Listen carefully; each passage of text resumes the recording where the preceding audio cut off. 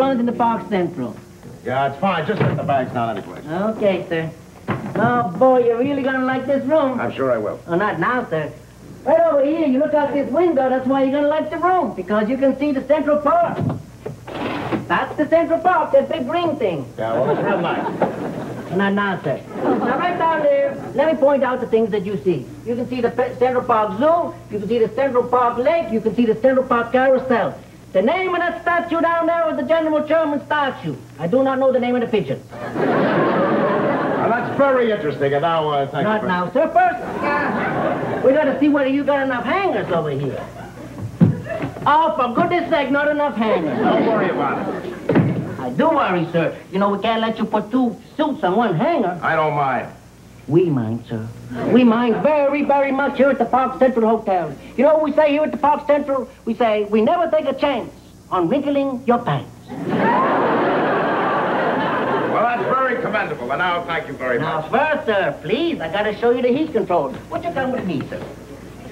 Over here is what we call the temperature control. When you want it to be warmer, you turn it to warmer. when you want it to be colder, you turn it to colder. Any questions? No, no Oh, questions. that's very good. You catch on fast. But if you do have any questions, please do not hesitate to call on me. I won't. Promise? I promise. Because you know what we say here at the Park Central. Yeah, never take a chance on wrinkling your pants. That's not all we say. We also say, never be nervous, ask for service. Do you write these slogans? No, I make them up. Well, I would like to say some more, but I got to go. I hope you don't mind. I'll try to survive. Sir? Now? Here you are, thank you. Thank you. Oh, for goodness sakes, what you must think of me, sir. Oh, no, I forgot to check whether you have enough towels. You know what we say here? We always say, if you have enough towels for your hands and your face, your bathroom can be a happy place. Look, I don't care if there's... I...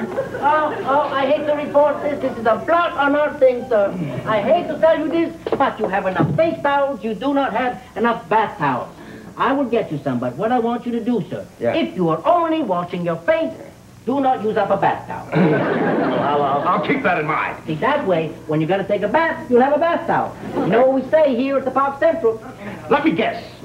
Something like, uh, we always fret if our guests are wet? No, we say if you need a bath towel, you call the housekeeper. but yours was very cute, sir. Okay. Okay, now please, please do not fail to call on me, sir. Remember that. If you need me, I am at your beck and your call.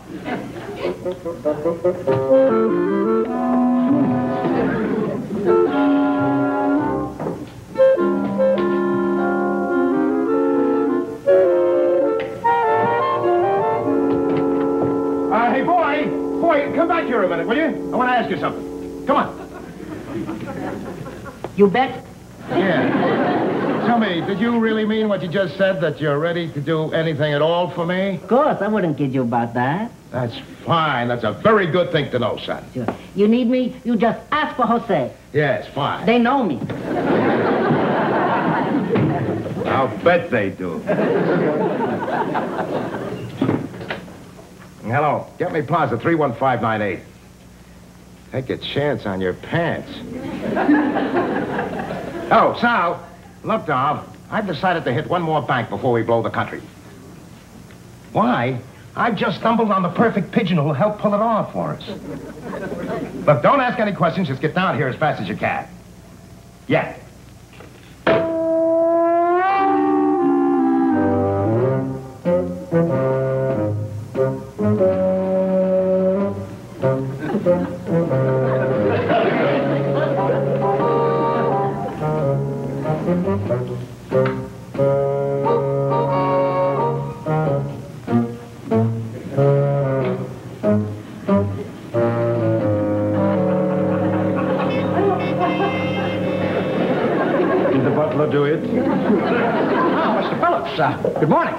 It happens to be afternoon. Right. Mr. Glick, may I ask you a question? Shoot. Are things so well under control in the hotel that the house detective can lounge about reading drivel? This isn't drivel, sir. This is research. Oh? Hennigan shoved the blonde off his lap, checked the safety of his Beretta, took a swig of bourbon, and said, Okay, baby, here's where we separate the men from the boys. this is research? Yes, sir. Now, if that situation ever comes up, I'll know exactly how to handle it. I've been thinking of switching to a Beretta myself. You see, Mr. Phillips, I always like to stay one jump ahead of the criminal. Now, the Beretta is a small gun. That's the beauty of it. Just slap her in the old shoulder holster. No telltale bulge. See, it's the kind of a gun that you can dance with and not be embarrassed. Oh, that's fascinating. But may I make one point? You're supposed to be preventing crime, not reading a book. Now, you think just because I'm reading that I don't have my eye on everything that goes on around here? Well, I don't miss a thing, Mr. Phillips. As a matter of fact, I am blessed with fantastic peripheral vision. Indeed. 360 degrees. Almost unbelievable. There, let me demonstrate. Now, after taking one quick sweep around this room, I will mentally photograph it and write down every detail in this pad. Now, watch carefully, Mr. Phillips. I take one swift look around like this. Ouch. Flowers. There. Somebody stole my patent pen. Someday I'll come out of the office and the lobby will be gone. It'll never happen. I'm in it all the time. Nick, you're incredible. You're the only house detective I know who has succeeded in having his own wallet stolen. That was during my lunch hour, sir. I was off duty. Those diabolical criminals, they always try to catch you when you're relaxed. With you, not being relaxed is a permanent state. Don't worry, Mr. Phillips. I'll catch that pickpocket or my name isn't Byron Glick. As a matter of fact, I've uh, devised an ingenious little plan. You see, the criminal always returns to the scene of his crime. Now, the next time that dip comes back and sticks his fingers into my back pocket like this. Ow! Boy, that smarts. I don't believe it. Glick, I only hired you because your father was house detective here for many years. And a fine one he was. He's a remarkable man. How disappointed he must be that he never had any children. now, here it is, Glick. I'm about to embark on a little detective work of my own. Looking for a new detective. Don't worry. Don't worry, Mr. Glick. Mr. Phillips would never fire you. You remember all the great things that you did around this hotel. Like the time that you broke down the door to... well, there was the time that you handcuffed yourself to... well, how about that time you arrested that man and it was the president of that company?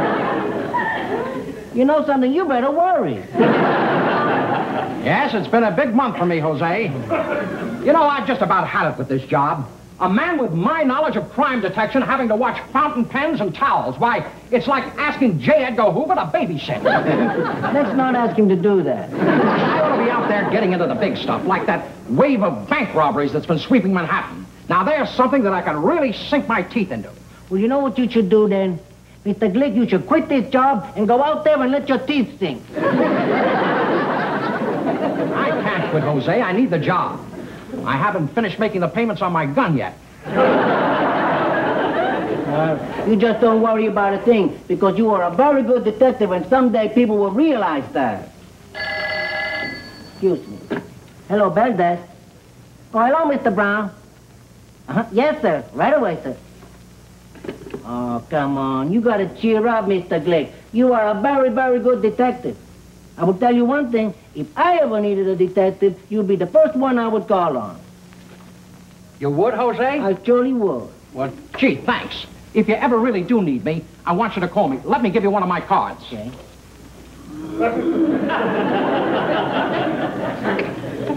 My cards were in my wallet.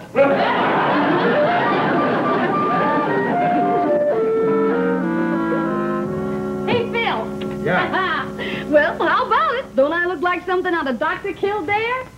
Yeah, that's fine. I, I think that's going to work. You know something, honey? You are a genius. Remember when Ma tried to break us up? She kept saying you were just some cheap, ordinary crook.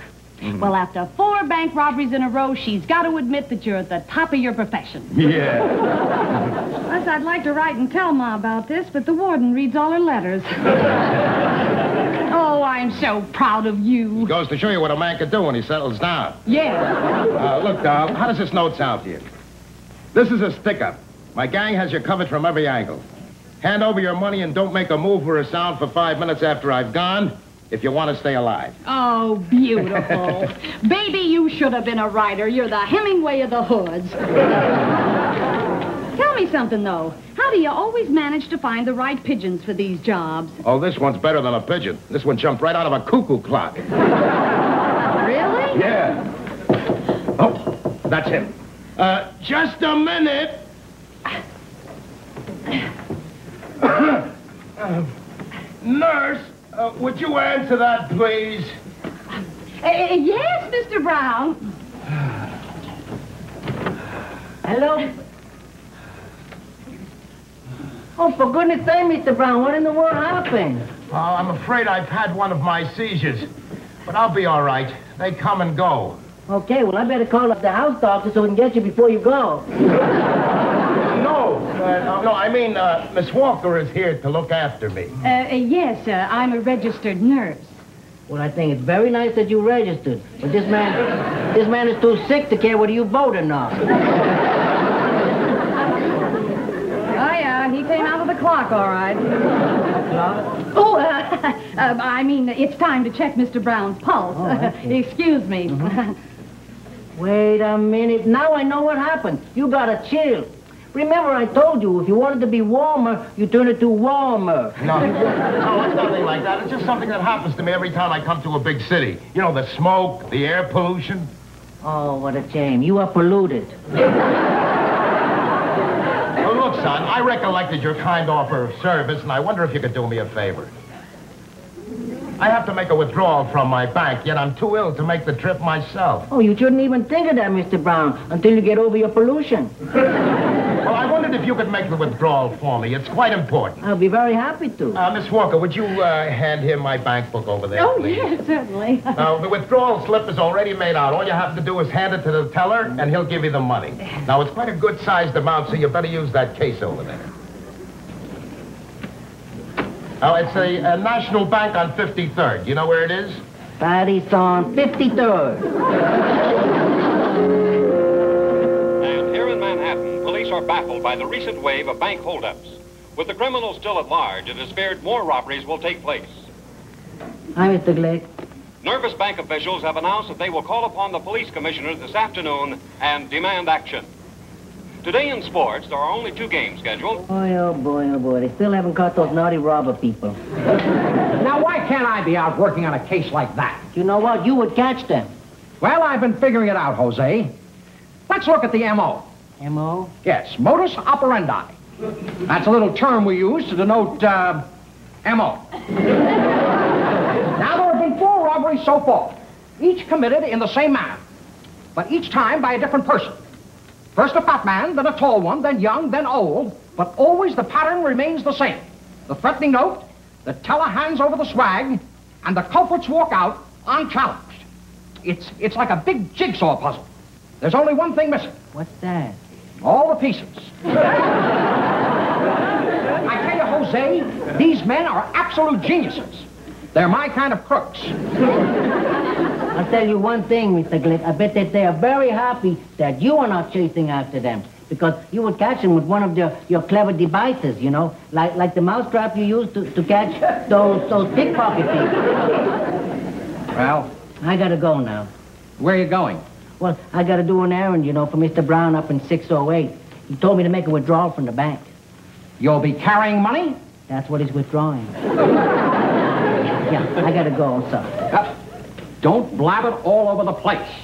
Now, I better drive you down. You'll feel a lot safer with me and Betsy. You gonna bring a girl? The old equalizer, my gut.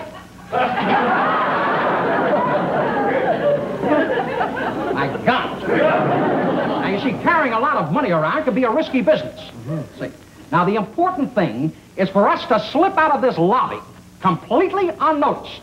Now, You go along, I'll follow behind and cover you from the rear. Okay, let's go.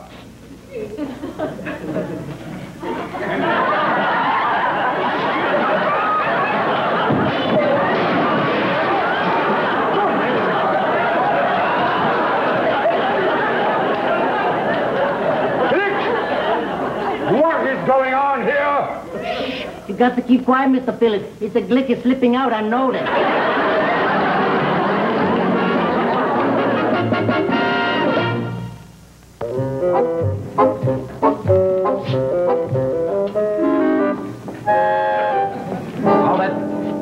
Everything looks all right, but I better check it out. You stay here. Inspector Glick, special investigator for the Park Central Hotel. We're making a little withdrawal for one of our guests, and I'd appreciate it if you'd keep your eye open for any funny business. Well, certainly I'll keep you covered till you get out. Let's go. You know, Mr. Glick, this is the bank where I have my Christmas club. Yes, well, it certainly is a good, solid-looking bank. Well, I want to tell you something. The robber persons would think twice before they do anything to this bank. Hello? Good afternoon. May I help you? Yes, we want to make a withdrawal, please.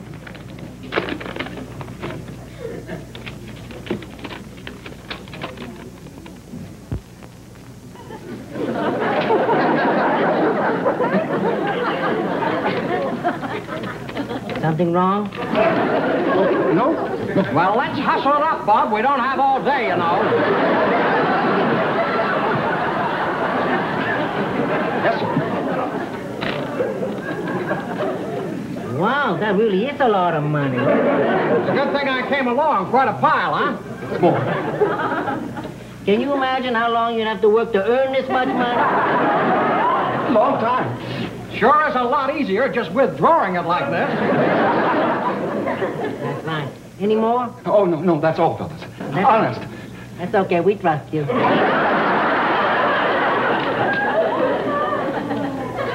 Um, could I have a calendar?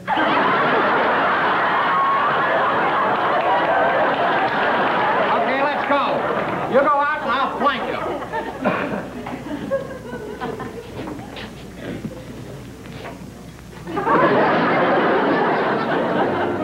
Crummy thieves in this hotel. I might as well take some of these myself. uh, do we have to listen to that? Well, I gotta do something to pass the time. This waiting is driving me crazy. Relax, doll. This may be one of our biggest hauls yet. Oh, yeah. Oh, that must be our little delivery boy now. Answer that, will you? Hello? What's the matter? He's got somebody with him. There, you get back there and cover me. Get back. Over there. Who you got with you? I got Mr. Glick, the house detective. Watch. Uh, come in, gentlemen. That's Mr. Glick, the house detective. That's Mr. Brown, the rich person. For what do I owe the honor of a visit from the house detective? Uh, just a little Park Central service. I thought I'd go along just to see that there was no trouble. What trouble? Uh, getting the money out of the bank. And there wasn't any trouble? Smooth as glass. I even got a calendar. Oh, I see. Uh, it's okay, nurse. You can come out now. Everything all right, Mr. Brown? Uh, yes. Uh, they're a matched set. That's a good thing I went along. That's uh, quite a withdrawal you made there. Uh, yes, uh, I'm involved in a very big business transaction. Oh, that's right. You know, Mr. Brown is a very big businessman. Yes. Hey, Wait a minute, Mr. Brown. You, you're out of bed. And why are you packing? You leaving us? Well, I took a sudden turn for the better, and Miss Walker thought I'd better get out of the city, fresh air, sunshine, you know. That's right. He was polluted. Well, I better escort you down to your car. That's quite a bit of money you're carrying, and you never know when you might run into a crook. Well, Mr. Glick, I think I can have. A late news headline. Another bank robbery. Two men posing as a bellboy and a house detective at the Park Central Hotel made off with over $100,000 from the National Bank on 53rd Street. How do you like that? What a diabolical way to rob a bank. Posing as a bellboy and a house detective.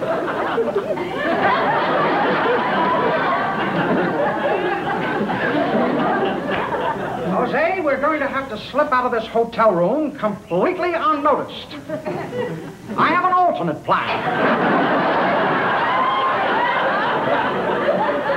Let's raise our hands. You, Yes, I'm that naughty robber person. What a pair! Are you really a house detective? Yes, but this has been a bad month for me.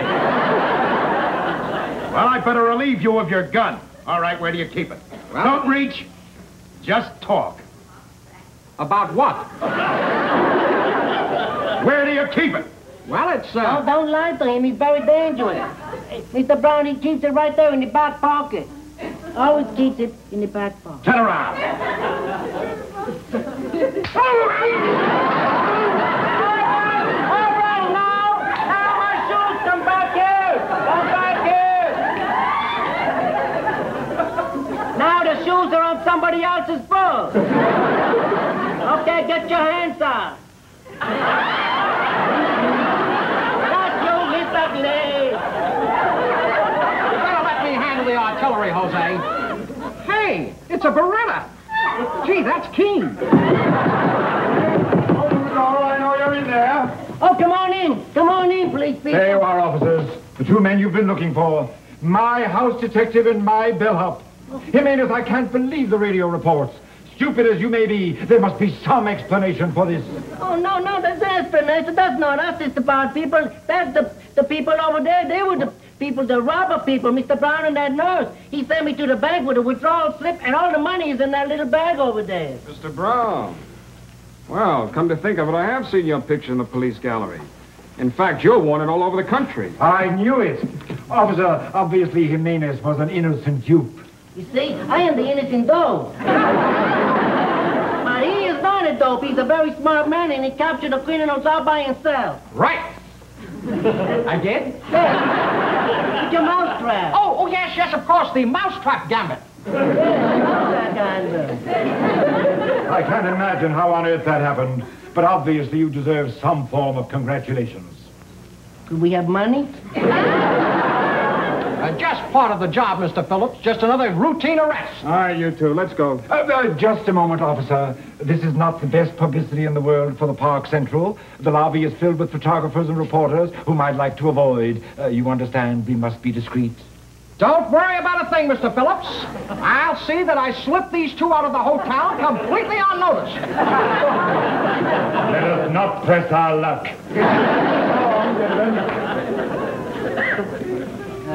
Excuse me. Just one more thing. You are a disgrace to the nursing profession.